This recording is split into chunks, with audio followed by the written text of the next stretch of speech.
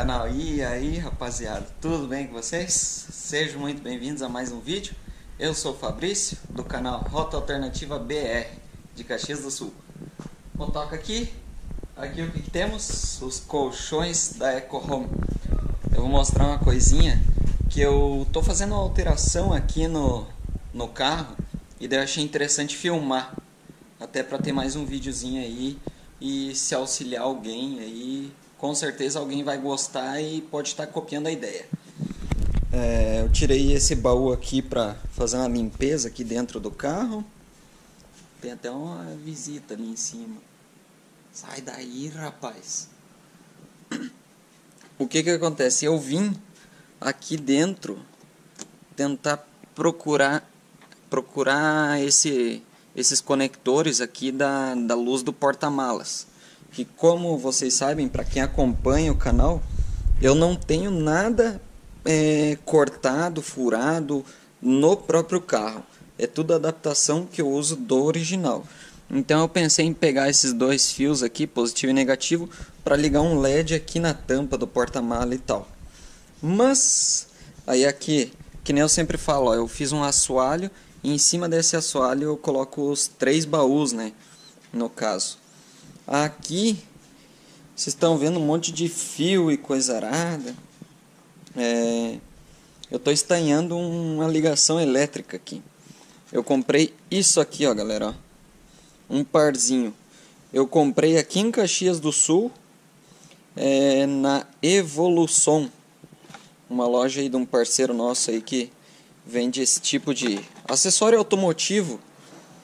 E e tem um precinho bem bacana. Então eu estou instalando esses faróis auxiliares. É, continuando ainda aqui dentro do carro, essa semana eu comprei esse ventilador 12 volts com pilhas recarregáveis. Tem até o preço aqui, ó, paguei 85 reais num, num outro, uma outra loja aqui em Caxias. É, tem três velocidades a 1, a 2 e a 3. E tem até um LED aqui, uma lanterna, vamos dizer assim, uma iluminação local. Um, uma lanterna auxiliar seria. Bem bacana esse aqui. Aí o que, que acontece quando a gente dormir, eu vou pendurar ele aqui, eu tenho um ganchinho que eu coloquei aqui na lateral do carro. E eu vou pendurar ele aqui. Posicionar bem certinho. E tá aí nosso ventilador. Carrega no ou no, no carregador de celular ou no 12 volts lá do carro, os USBs, né? E a gente vai transportar ele aqui ou dentro de um baú, vamos ver. É, mas referente a esses faróis auxiliares, eu não vou instalar lá na frente. Lá na frente do carro, eu já instalei um. Ó, o motorzinho é limpinho, ó, impecável. A gente pega estradichão direto, mas Tô sempre dando uma geral. Eu instalei um farol de milha aqui dentro da grade. Para quem acompanha o canal aí viu em alguns takes esse farol ligado. A ideia disso aqui não é usar na rodovia, até porque segundo a legislação é passível de multa. A ideia é usar no off-road, estrada de chão, quando a gente viaja à noite, enfim, em situações que não vá prejudicar ninguém.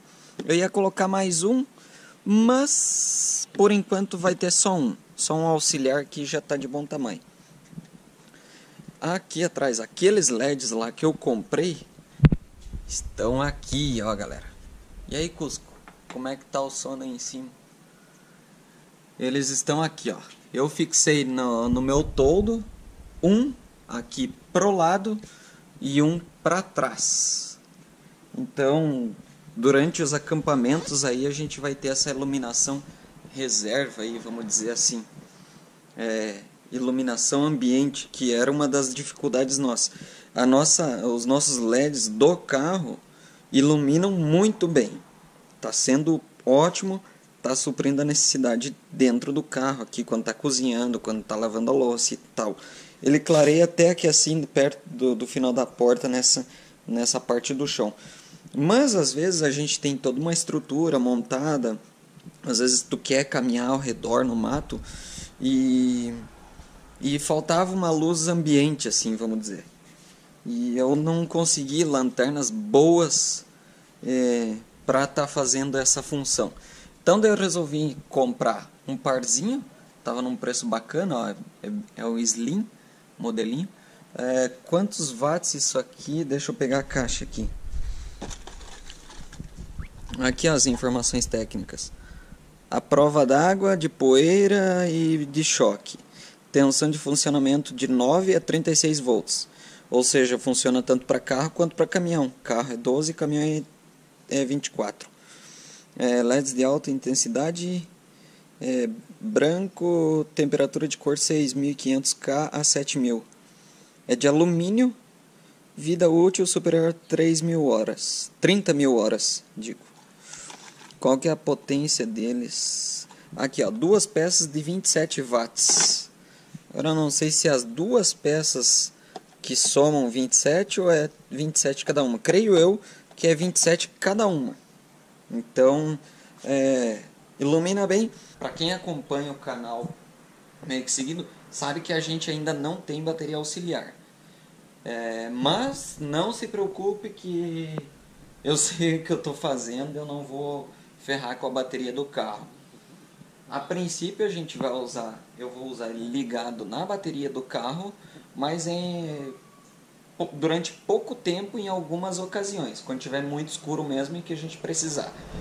Aí eu passei eu passei a fiação, estanhei eles dois aqui e peguei um cabo, passei por debaixo do baú fiz esse cabo sair aqui, depois eu vou prender ele bem ele vai vir aqui, a ideia é esconder ele aqui no suporte do rack, ele vai aparecer só esse pedaço aqui do carro. E daí aqui ele já vai entrar na, na calha original do carro aqui, ó. Ele vai ficar bem assim, ó. ó quase que imperceptível, entende? Aqui, ó. Então ele vai aparecer só lá aquele pedaço ali, ó, da ponta do, do, do, do rack ali, do toldo vai descendo aqui, descendo. Aí eu vou puxar um fio por essa entrada aqui, não vou furar nada no carro. Eu até podia, é, geralmente os carros têm entrada aqui na frente, mas eu não quero mexer muito. Quero deixar o negócio mais fácil. Se acaso deu ideia de vender o carro, é bem barbadinho de tirar tudo que eu alterei, entende? Dessa forma. Então vou passar um fio aqui, vou jogar lá para dentro do carro com um botão de liga e desliga e vai vir a outra fiação ligar direto na bateria com fusível. Então vou colocar um fusível aí para por questões de segurança, caso acontecer algum curto, vai queimar o fusível, tá? Então tá passando aqui, vindo ali para trás e vai acionar eles aqui. É, em viagem eu vou estar tá cobrindo ele eu não vou andar com ele exposto. Eu vou fazer uma capinha para cobrir eles, para não ter perigo de multa e até porque é contra a legislação, pelo que eu entendo. Isso aqui é passível de multa. Então eu vou cobrir eles quando a gente estiver em movimento. Em estrada de, de interior, no, no meio do mato, daí eu descubro e, e vou estar tá usando normalmente. Então, agora eu vou dar sequência aqui, vou terminar de de estanhar a fiação, colocar o botão de liga e desliga. E depois eu tiro uma gravar não, não vai pegar legal porque a GoPro até daria para gravar com o celular também. Mas eu vou tentar. Conforme ficar a gravação eu coloco aí senão eu vou deixar só fotos tá? Então eu vou dar sequência aqui e logo voltamos. Vou filmar à noite também. Tirar uma foto enfim então pessoal concluí a instalação estanhei todos os fiozinhos, os conectores e fiz a ligação do botão, coloquei um botão lá na frente. É, por que, que eu coloquei lá na frente? A ideia não é quando eu estar tá dirigindo eu acionar ele, mas sim quando eu estiver manobrando no escuro, no meio do mato, nos acampamentos, então vai facilitar. Eu simplesmente lá de dentro eu aciono o botão e vocês sabem que a luz de ré de qualquer carro é fraca. Então isso aí vai estar tá auxiliando também na questão de marcha ré. Então vou mostrar aqui para vocês. Aqui, ó, o fio tá vindo por aqui, ó. Ó. Lembra que eu mostrei antes que ele ia descer aqui?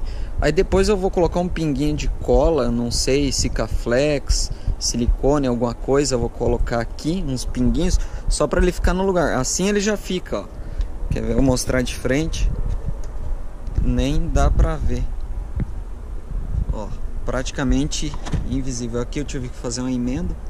E daí ele entra aqui nessa canaleta, passa pelo forro da porta, pelo forro não, pela borracha da porta aqui e entra ali dentro.